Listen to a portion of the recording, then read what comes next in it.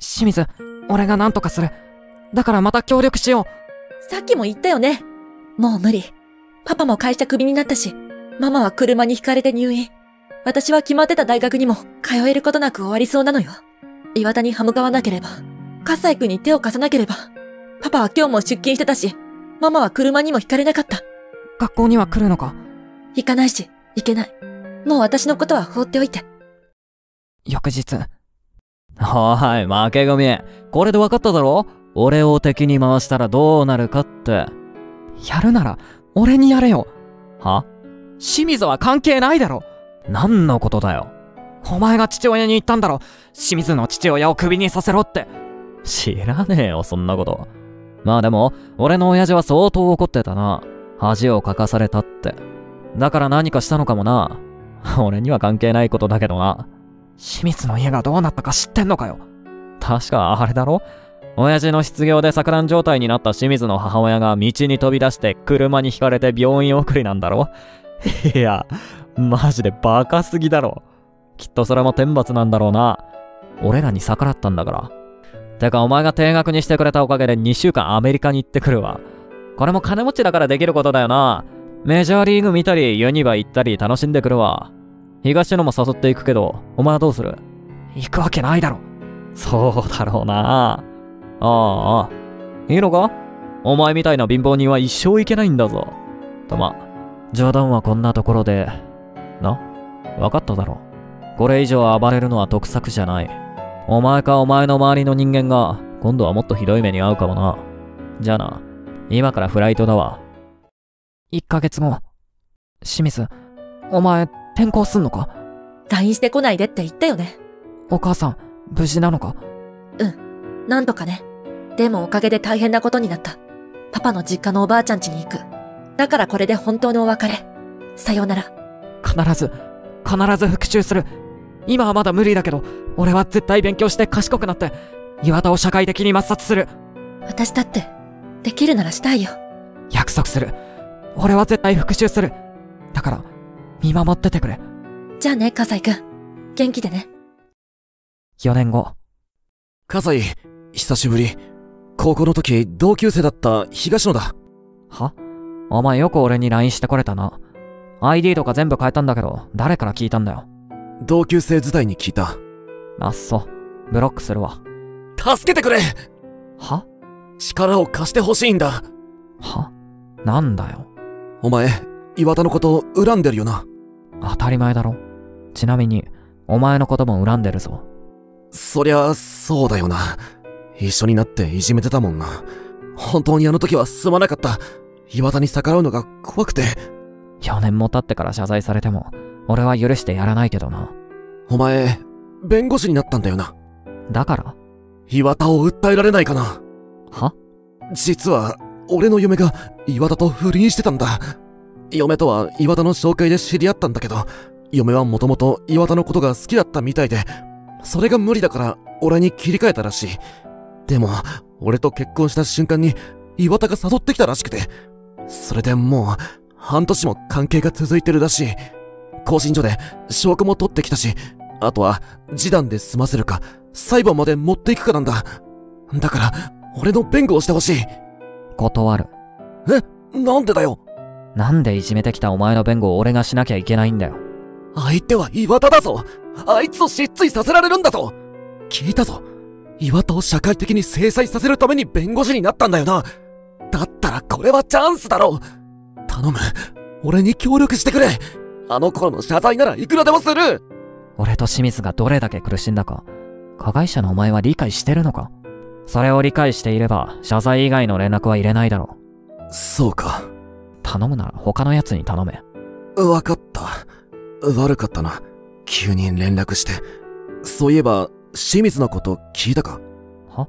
清水がどうした？連絡取ってないのか？転校して以来、もう連絡取ってないわ。あいつ今、岩田の会社で働いてるぞ。え？自分の父親をクビにされたのに、その岩田の会社に入社したって、清水のやつも相当狂ってるよな。それ、本当か？清水は何の目的で？本人に聞いてみろ。LINE 知らない。俺から送っておくわ。わかった。1時間後。葛西くん、久しぶり。高校の時以来だったから4年ぶりくらいになるかな。あの時は取り乱してて本当にごめんなさい。聞いたぞ、清水。お前、岩田の会社で働いてるんだろ。そうだよ。なんでだよ。だってここの会社って給料いいの。岩田の父親に気に入られたから、すっごい簡単に入社できたよ。結局は金かよ。父親がクビにされたんだろ。そいつをクビにしないと会社との取引を中断するってそう言われたんだろ。そうだよ。そんな悲惨な命令した岩田の会社になんで入社なんかできるんだよ。お前、復讐したいんじゃないのかよ。親父さんの無念晴らすんじゃないのかよ。だから入社したんだよ。え？こんなでかい会社潰そうと思ったら、相当な力が必要だと思うの。それこそ競合他社を作って、売り上げで勝ってやるとかも、最初の方は考えたの。でもそれって、現実的じゃないでしょ。だから、味方のふりして入社したの。父親にはうんざりしていた。ここの経営理念が好きだって、言いたくもない嘘言ったら、すぐに入社できたよ。岩田だってもともとは笠井くんの敵だし、笠井くんの悪口もたくさん言っちゃった。そこはごめんね。じゃあ、潰したい、復讐したいって意思は？あるに決まってるじゃん。今まで言えなくてごめんね。でも、笠井くんと仲良くしてるのがバレちゃったら、警戒されるかなって。確かに、それはそうだな。てか、笠井くん、弁護士になったんだよね。しかも高卒出たよね。本当にすごいね。どうしても、社会的権力が欲しくて、それで近くの弁護士事務所でバイトしてた。そこで弁護士になるためには、って、必死で毎日勉強してた。それで受かったの？すごすぎ。いや、マジで運も良かった。運も実力のうちだよ。てか、東野から LINE 来たと思うけど、東野もこっち側なのか？うーん、どうだろう。私は完全に信頼はしてないかな。なるほど。確か、奥さんが岩田と不倫してるんだよな。そうそう。まあ岩田は他の人とも不倫してるけどね。じゃあ、それ全部裁判起こして、岩田の社会的信用を落とすか？それもいいんだけどね。岩田の会社、多分相当黒だね。というと、私さ、経理部門にいるんだけど、怪しいお金の動きが多いの。もうちょっとで調べつくんだけど、なかなか本質に触れられなくて。それに、会社の組織が大きいから、誰か協力者いないかなって。俺の知り合いに国税の人がいるんだ。え、すごっ前に脱税してた会社があって、ちょっと関わることがあったんだ。その人に協力してもらえるか聞いてみるわ。わかった。てか、一度だけ会わない？もちろんバレないように。そうだな。数日後、不倫の弁護、受けてやるよ。マジかよあ、打ち合わせするぞ。本当にいいのかよ言っとくけど、利害が一致してるだけだぞ。金にもなるし、岩田に仕返しできるから引き受けるだけだぞ。決してお前を許したわけじゃない。わかってる。でも、どうして俺なんだよ。好きでいじめてたわけじゃないにしても、俺なんかと関わりたくないだろ。これは俺のわがままだけど、葛西と一緒に岩田を倒したいんだ。高校の時は、岩田が怖くて仕方なかった。やりたくなかったいじめに加担してた。なんなら、葛西を不憫に思ってた。だから、大人になってやり返したかった。葛西と一緒に岩田をやっつけないと意味ないんだよ。あっそ。勝手にしろ。ああ、ありがとう。1ヶ月後。清水、協力ありがとう。不倫の内容証明郵便と税務署からの会社突撃は明日だ。これでひっくり返せる。最後まで油断しない。あてか、東野の不倫の件は、引き受けたんだね。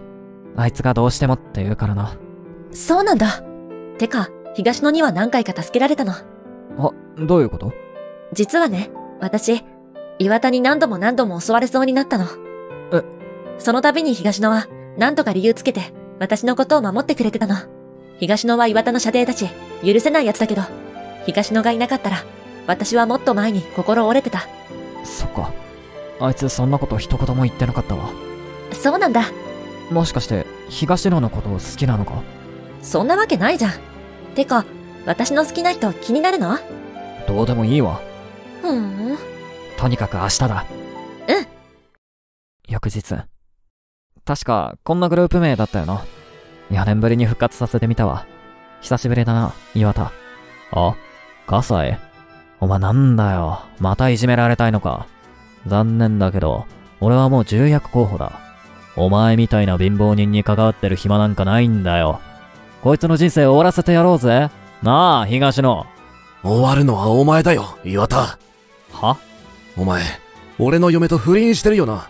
何の話だよ。知らないとでも思ったか？悪いけど、全部知ってるぞ。更新所にも調査してもらったし、弁護士雇って準備もできた。明日、自宅と会社に、お前の不倫の内容証明が届くぞ。待てよ。何の話だよ。何なんだよ、お前は。俺は東野の弁護人だよ。は示談に応じない場合は裁判所に行くことになるかもな。俺は東野の弁護人だから、徹底的にお前を追い詰めるぞ。慰謝料も請求してやるからな。東野。お前裏切ったな。不倫する奴が悪いだろうが。今までの恩を忘れたかそれにあいつはもともと俺の女だ。お前に譲っただけでも感謝しろ。受けた恩？悪いけど、怖かったからずっと従ってただけだぞ。お前のこと友達だなんて一瞬たりとも思ってないわ。だってさ、お前ら、調子乗んなよ。お前らなんか潰してやるからな。俺の会社がどれだけでかいと思ってんだ。確かに、でかい脱税してる会社だよな。は？脱税？まあ、お前はまだ知らないのかもな。残念ながら、お前の親父の会社は多額の脱税をしてる最悪の会社だぞ。嘘つけよ。本当だよ。内部告発があって、明日に税務署から飛んでくるぞ。内部告発？そうだよ。お前を社会的に潰せる機会をくれた清水結花には本当に感謝だわ。清水が？そうだよ。ずっと従順に働いてたから完全に味方になったと思ったろ？でも残念。そんなことないぞ。大体、考えればわかるだろう。自分の父親を首に追い込んだ会社に入るなんて復讐目的以外ないだろう。まあ、そんなこと考えられるなら、いじめも脱税もできるわけないけどな。お前、いい加減にしろよそれはこっちのセリフだよ。今まで散々親子で悪さしてきたんだ。世間に謝罪して懺悔しろ。お前、確かもう結婚して子供もいるんだろ守るべきものがあるのに、今更全部失うんだもんな。今どんな気持ちだ？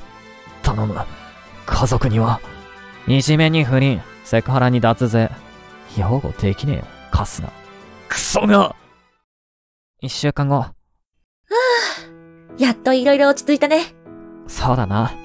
岩田の会社は無事脱税がバレて、世間では大ニュースだし、高校時代のいじめや、社内でのセクハラや不倫も、すべて報じられたみたいだね。それで、嫁と子供には逃げられて、残ったのは大量の借金。終わってみると、意外にあっけないな。パパにはいい報告できそう。今度線香をあげに行くわ。うん、ありがとう。それより、祝賀会しない？祝賀会か。なんか懐かしいな。え、覚えててくれたの？確か、映画見に行く予定だったよな。そう。実はね、あの日から映画館には一歩も入ったことなかったの。え、そうなのか？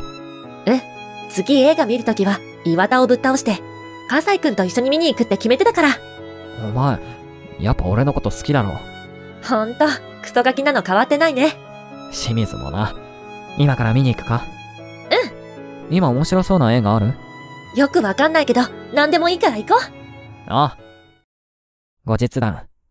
こんばんは、笠井です。この後、なんやかんやで清水とは付き合うことになりました。そんな意識では見てませんでしたが、改めて見ると素敵な女性でした。そして、肝心の岩田ですが、今は消息が不明です。どうやら手を出してはいけない女にも関わってたみたいで、闇に葬られたという説も浮上してます。また、会社自体は倒産に追い込みました。地元で絶大な権力を持っていた岩田の父親も、信用はどん底に落ちました。そして、東野ですが、こちらの不倫問題についても全て解決しました。示談で慰謝料をそれぞれ300万ずつ受け取ることができました。東野は謝罪の意味も込めて、取った慰謝料全額を俺に渡すと言ってきましたが、突き返しました。本人には伝えてませんが、もう彼のことは許しました。もともと操られてただけですが、何より清水を救ってくれました。そこに最大の感謝があります。それでは、失礼します。